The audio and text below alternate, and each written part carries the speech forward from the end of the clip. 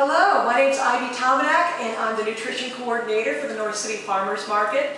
It's going to be my job to guide you through the areas of the market for you to bring food home and prepare it to make these delicious meals. The fact that they're going to be healthy doesn't matter. Okay, um, it's an added benefit to uh, all the wonderful things I'm going to show you how to make. I'm looking forward to meeting you and I'll see you at the market.